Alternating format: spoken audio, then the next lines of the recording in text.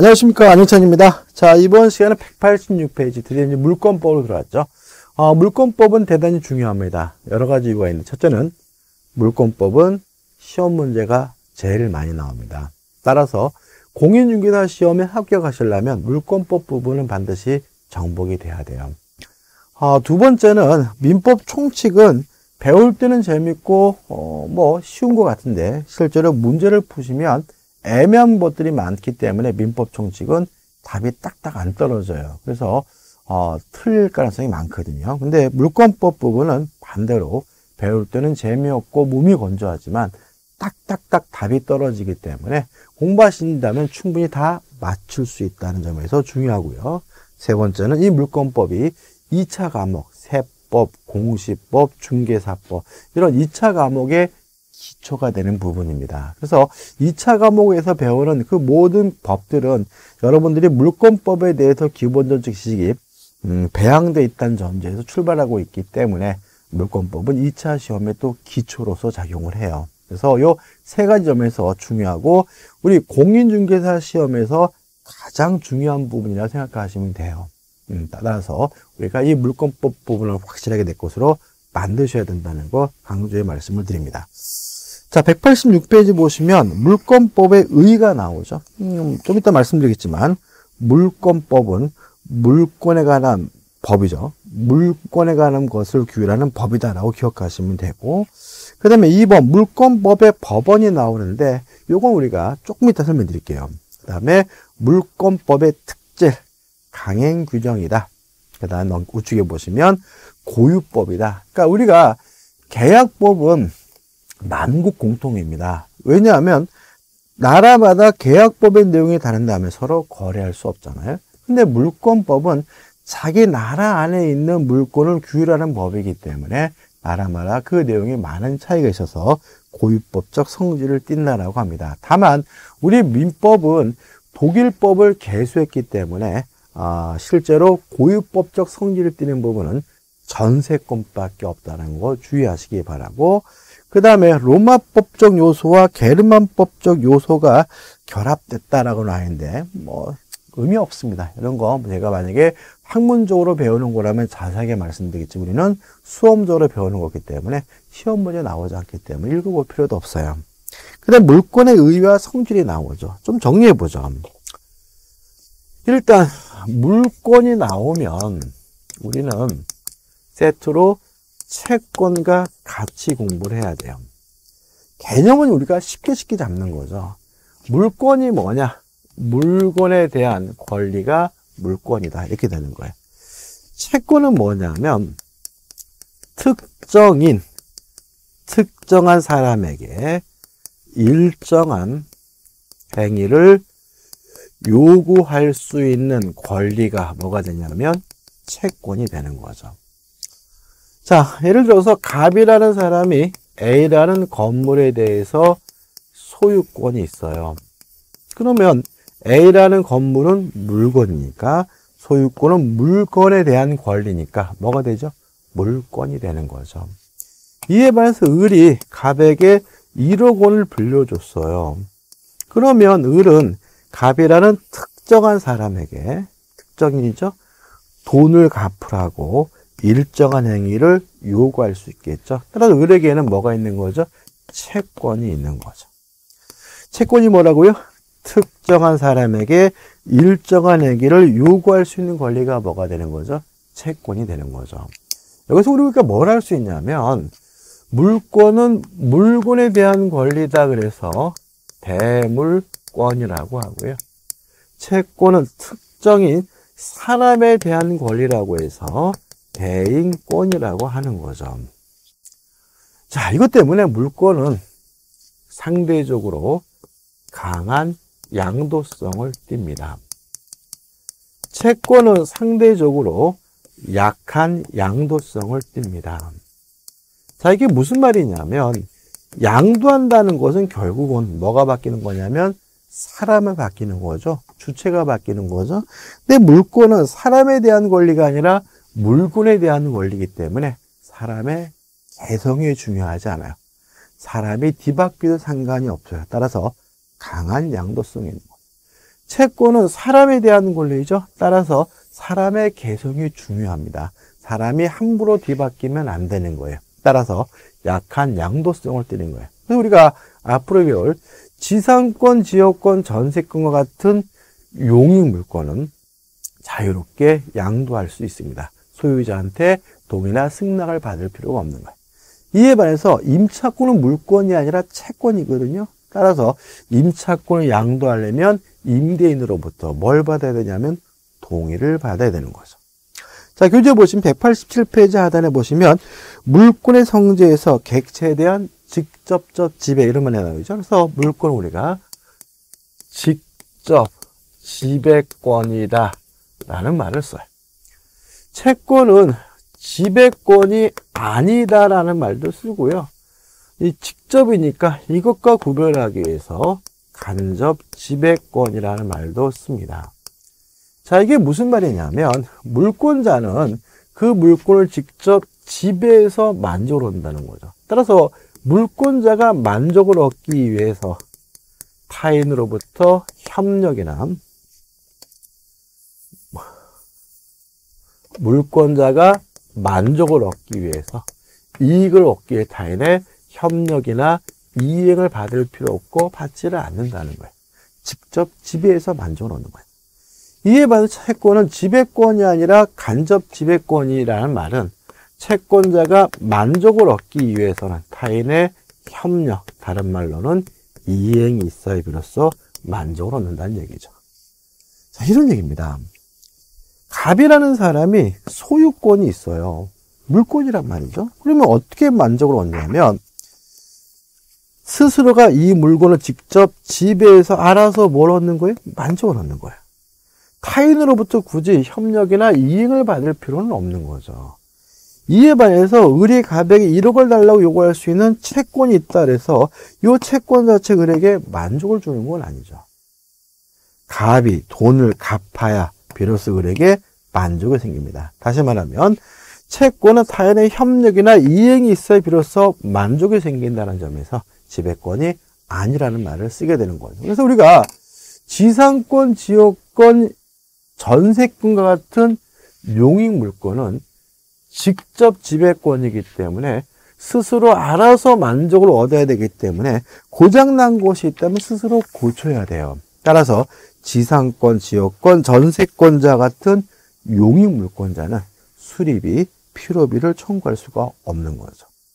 이에 반해서 임차권은 물권이 아니라 채권입니다. 따라서 임대인이 협력을 해야 비로소 만족을 얻거든요. 임대인이 고장난 곳이 있으면 고쳐줘야 되는 거거든요. 따라서 채권자 임차인은 임대인에게 수리비, 필요비 상한을 청구할 수 있다는 논리가 여기서 나타나게 된다는 거 한번 생각해 보시기 바랍니다. 자, 188페이지 오시면 객체에 대한 배타적 지배성이죠. 물권은 배타성을 띱니다. 채권은 배타성이 없습니다. 자, 이게 무슨 말이냐면 갑이라는 사람이 A라는 건물에 대해 소유권 한 개의 물건이 있다면 똑같은 물건에 똑같은 내용의 물건이 중복해도 존재할 수가 없는 거죠. 우리가 베타성이라고 해요. 따라서 이런 베타성 때문에 한 개의 물건에는 한 개의 물건만 존재하게 된다. 우리가 일물, 일권주의라고 하는 거죠. 다시 말씀드리지만 물건은 베타성이 있는 권리이므로 똑같은 객체, 똑같은 내용의 물건이, 물건이 중복해서 존재할 수가 없습니다. 이에 반해서 채권은 다르죠. 을이 갑에게 1억 원을 빌려줘서 1월 달라고 요구할 수 있는 채권이 있는 상태라도 병이 갑에게 또다시 1억 원을 빌려줬다면 똑같은 내용의 채권이 중복해서 뭐 할 수 있어요? 존재할 수 있는 거죠. 왜요? 채권은 배타성이 없기 때문이라는 거 기억해 두시면 되겠죠. 그 다음에 188페이지 오시면 이제 3번에서 절대권으로 물권이죠. 자, 물권은 절대권입니다. 이에 반해 채권은 상대권입니다. 자, 절대라는 말이 뭐죠? 모든 사람이잖아요. 따라서 물권은 모든 사람에게 주장할 수 있는 권리입니다. 상대라는 말이 뭐였죠? 특정된 사람인 거죠. 채권은 특정된 사람에게만 주장할 수 있는 권리입니다. 뭐 기본기는 이렇습니다. 갑이라는 사람이 소유권이라는 물권을 가지고 있다면 갑은 자신의 소유권을 세상 모든 사람에게 주장할 수 있다. 절대권인 것. 을이 갑에게 1억 원을 빌려줬어요. 그러면 누구한테요? 갑이라는 특정한 사람에게만 돈 달라고 해야 되는 거죠. 엉뚱한 병한테 돈 달라 그러면 병한테 뒤지게 맞아요. 다시 말하면 제권은 특정된 사람에게만 주장할 수 있기 때문에 상대권입니다. 여기서 중요한 논리가 발생하게 되는데 물권은 모든 사람이 주장할 수 있는 절대권이기 때문에 대항력을 갖습니다. 채권은 특정한 사람이 주장할 수 있는 상대권이기 때문에 대항력이 없습니다. 자, 지상권, 지역권, 전세권은 물권입니다. 따라서 모든 사람에게 주장할 수 있는 절대권이니까 제3자에게도 지상권, 지역권, 전세권자는 자신의 권리를 주장할 수 있는 거예요. 따라서 그 목적물의 소유자가 바뀌더라도 새로운 소유자에게 자신의 지상권, 지역권, 전세권은 주장할 수 있다. 대항력이 있는 거죠. 이에 바로 임차권은 물권이 아니라 채권이기 때문에 특정된 사람에게만 주장할 수 있는 거야. 따라서 A라는 사람이 임대인이라면 A라는 사람에게만 주장할 수가 있기 때문에 새로운 소유자에게 임차권을 가지고 뭐 할 수 없습니까? 대항할 수가 없는 거예요. 자, 여기서 좀, 여기서 좀 조심할 것은 뭐냐면 주택 임차권이죠. 자, 주택 임차권은 대항력 있는 권리인가요? 여러분들 알다시피 주택 임차권자가 대항력을 취득하려면 인도받고 주민등록을 하면 이길 날, 다음 날 뭐가 생기는 거죠? 대항력이 생기는 거잖아요. 그죠, 여러분? 그러면 주택 임차권이라는 권리는 대항력이 없는 거죠. 주택 임차권 권리는 대항력이 없으니까 인도받고 주민등록을 해야 비로소 대항력이 생긴다라는 특별법을 주택 임대차 보법을 맞는 거잖아요. 감 잡히시죠, 여러분들? 다시 말하면 모든 임차권 일단은 뭐가 없는 거예요? 대항력이 없는 거예요. 왜요? 임차권은 물권이 아니라 채권이고 채권은 특정된 사람에게만 주장할 수 있는 상대권이기 때문에 그런 거죠. 그 다음에 아, 물권은 절대권이고 모든 사람에게 주장할 수 있기 때문에 물권을 행사할 때 굳이 대위할 필요가 없는 거예요. 채권은 특정된 사람에게 주장할 수 있는 상대권이기 때문에 채권을 행사할 때는 특정한 사람을 통해서 특정한 사람을 대위해서 행사하게 된다는 특색이 있습니다. 자, 여러분 생각해 보세요. 대위에서 것. 자, 이중면입니다. 갑이 소유하고 있는 부동산을 을과 만나서 매매 계약을 하고 을이 갑에게 대금을 다 지급하자 을이 갑이 을에게 인도를 해줘서 이제 을이 점유하고 있는 상태인데 또다시 갑이 병과 만나가지고 매매 계약을 하고 병에게 이전 등기를 해줬어요. 자, 이중매는 원칙적으로 유효하기 때문에 병은 자기 앞으로 등기를 했다면 선악 불문하고 소유권을 갖습니다.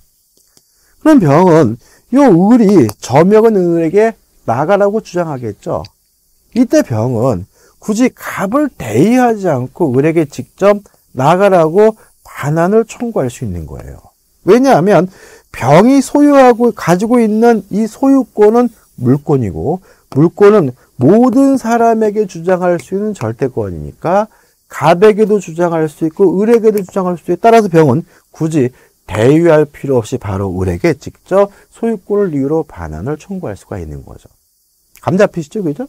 근데 만약에 병이 아는 것을 넘어서 적극 가담하게 되면 이제 갑과 병 간의 매매 계약은 반사회적 법률에서 무효가 되니까 매매도 무효고 등기도 무효니까 병에게 소유권이 없는 거예요.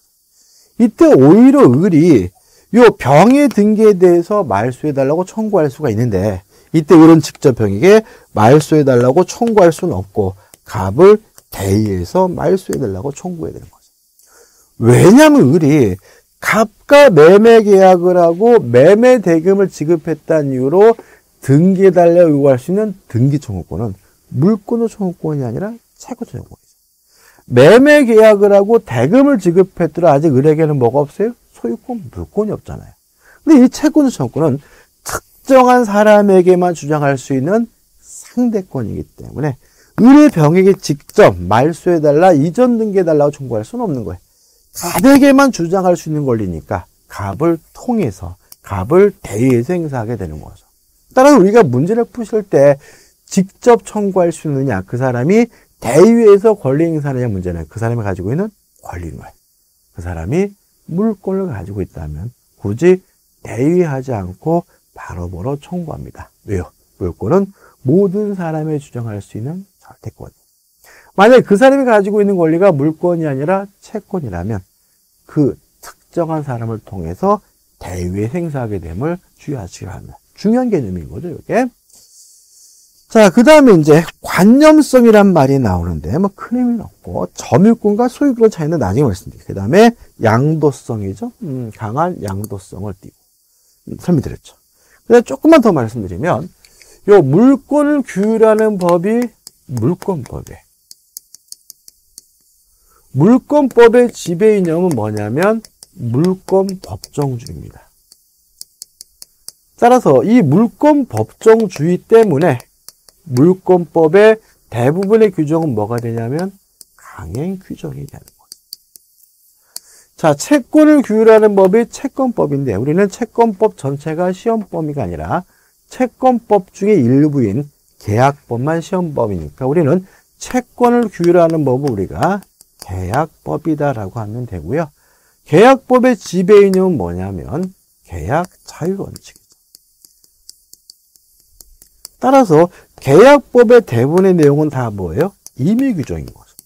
자, 우리가 계약을 자유롭게 할 수 있는데 만약에 계약법의 강행 규정에서 법에 규정되어 있는 대로 해야 된다면 자유로운 거 아니죠? 다시 말하면 계약 자유의 원칙 때문에 계약법의 대부분의 내용은 뭐가죠? 임의 규정적 성격을 갖게 되는 거죠. 자, 그 다음에 이제 188페이지 다시 보시면 물권의 주체는 음, 자연인과 법인이고요. 물권의 객체는 뭐죠? 물건입니다. 자, 물건과 관련된 좀 이따 말씀드릴 거고 우측에 보시면 현존하고 특정돼야 된다. 그 다음에 일물 일권주의가 나오거든요. 자, 일물 일권주의에 대해서 제가 방금 말씀드렸죠. 물건은 배타성이 있는 권리이므로 한 개의 물건에는 똑같은 내용의 물건이 중복해도 존재할 수 없다. 한 개의 물건만 존재한다. 일물일권주의라고 하고요. 이 일물일권주의는 아, 공시법이 대단히 중요한 개념입니다. 민법은 이 정도입니다. 실제로 교재 나오는 내용들은 뒤에서 배울 내용이기 때문에 일단은 지나갈 겁니다. 뒤에서 배울 거예요. 자, 이제 어디로 갈 거냐 하면은, 음, 191페이지 오시면 뭐가 나오죠? 물권의 종류가 나와요. 아, 이거, 물권의 종류하기 전에 먼저 물권의 객체에서 다시 한번 188페이지 하단을 좀 설명해 드려야 되겠네요. 자, 물권의 객체는 뭐죠? 아, 물건이죠. 조금만 개념을 잡아야 되겠네. 물권의 객체는 물건이다. 왜냐하면 물권은 물건에 대한 권리니까. 자, 물건은 뭐냐에 대해서 우리 민법은 유채물 및 아, 관리 가능한 자연력이 물건이다 라고 규정을 두고 있습니다. 다시 말하면 토지다 건물이다 책상이다 칠판이다 분필과 같은 눈에 보이는 유체물뿐만 아니라 관리 가능한 자연력, 전기, 온기, 냉기 등도 물건이 됨을 주의하시기 바라고요. 이 물건이 다시 툴론 아닙니다. 부동산과 동산입니다. 부동산은 뭐냐면 토지 및 그 정착물입니다. 토지와 토지에 정착되어 있는 물건을 우리가 부동산이라고 하고요. 동산은 뭐냐면 아, 부동산 이외의 물건이죠. 부동산이 아니면 다 뭐예요? 동산인 겁니다. 근데 여기서 좀 조심할 것은 뭐냐 하면 지금 배우고 있는 이 물건의 개념은 과학적 개념이 아니라 분류 방식이에요. 자, 우리 법은 사물을 구별할 때 사람과 물건 두 가지로 분리하고 있고요. 따라서 이것은 분류 방식이기 때문에 과학적 개념이 아니라는 거 좀 주의하시기 바라요. 여기서 연습이 필요해요. 자, 토지는 부동산입니다. 건물도 부동산입니다. 왜냐하면 건물은 토지에 뭐가 되어 있어요? 정착되어 있으니까요. 건물 앞에 있는 담벼락 이것도 뭐죠? 부동산입니다. 토지에 뭐가 되어 있어요? 정착되어 있으니까. 자, 건물 밖에 나무가 자라고 있네요. 이것도 뭐죠? 부동산입니다. 왜요? 토지에 정착되어 있으니까. 자, 나무 옆에 배추밭이 있는데 배추밭에 배추가 자라고 있어요. 이것도 뭐예요? 부동산입니다. 토지에 정착되어 있기 때문에. 다시 말하면 우리가 민법에 나오는 정착, 아, 농작물은 부동산이에요. 근데 우리가 자꾸 어떻게 해요? 마트에 파는 배추를 생각하기 때 농작물을 동산으로 오인하는 경향이 있는데, 이거는 뭐죠? 부동산이다. 부동산이다. 자, 물론 배추밭에 배추를 뽑으면 뭐로 바뀌겠어요? 동산으로 바뀌겠죠. 나무를 자르면 뭐로 바뀌겠어요? 동산으로 바뀌겠죠. 감 잡히죠? 자, 이 나무가 사과나무인데 사과나무에 사과가 열려 있어요. 이 사과나무의 사과도 부동산입니다. 왜요? 토지에 정착되어 있으니까. 물론 사과나무의 사과를 따면 뭐로 바뀌어요? 동산으로 바뀝니다. 이것을 믿으십시오. 그래서 여러분이 앞으로 이제 가을이 돼가지고 낙엽이 지면 아 슬프다 센치지지 마시고 이제는 아 부동산이 동산으로 바뀌고 있구나. 나무에 달린 나뭇잎은 뭐예요? 부동산. 떨어지면 뭐로 바뀌는 거죠? 동산으로 바뀌게 된다는 거 다시 한번 말씀을 드립니다. 자, 이제 191페이지 볼게요. 191페이지 오시면 물권 법정주의가 나와요. 자, 간단하게 정리할 건데.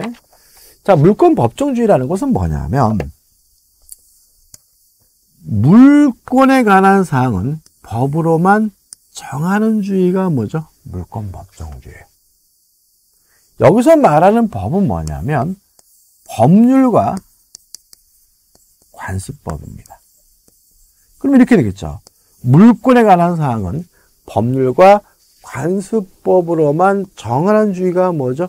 물권 법정주의인데 주의하실 점은 여기서 말하는 법률은 국회에서 제정한 형식적 의미의 법률이라는 거죠.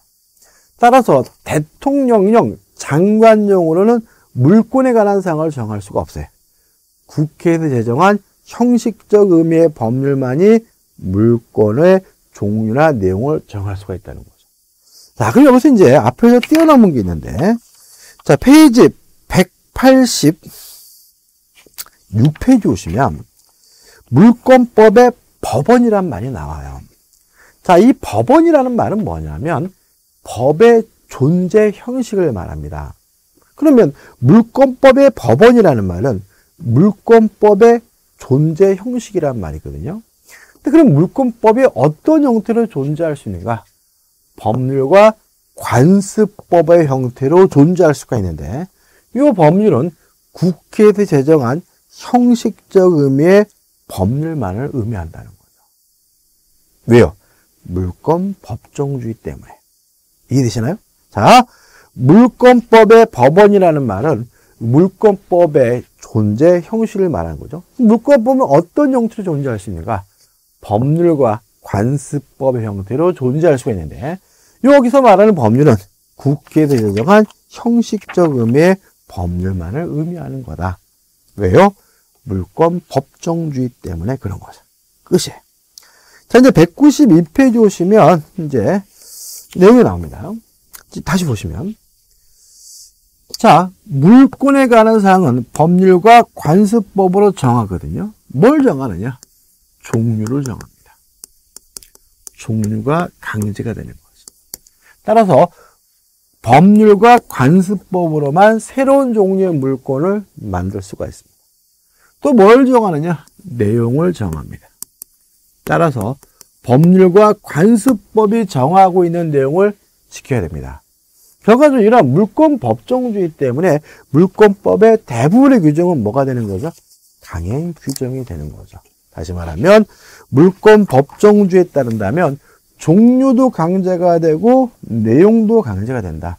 따라서 물권법이 규정하고 있는 내용을 위반하면 무효고 또 법률과 간습법 외에 다른 방법 새로운 종류의 물권을 만드는 것도 뭐가 되죠? 무효가 된다. 따라서 물권법의 대부분의 규정은 뭐가 되는 거죠?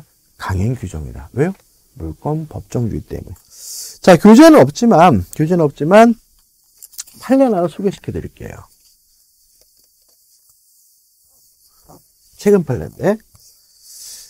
자, 소유권이 어떤 권리냐면, 물건을 사용하고 수익하고 처분할 수 있는 권리가 음, 소유권입니다. 근데 음, 당사자는 어떤 약정을 했냐면 영원히 영원히 사용 수익할 수 있는 권능을 포기하기로 당사자 간에 약정을 했어요. 이러한 약정이 유효하냐 문제인 거예요. 자, 만약에 이러한 약정이 유효하다면 소유권이긴 한데 그 물건을 뭐만 할 수 있어요? 처분만 할 수 있는 새로운 종류의 소유권이 생기게 되는 거죠. 자, 물권 법정주의에 따라서 법률과 관습법으로만 새로운 종류의 물권을 만들 수가 있잖아요.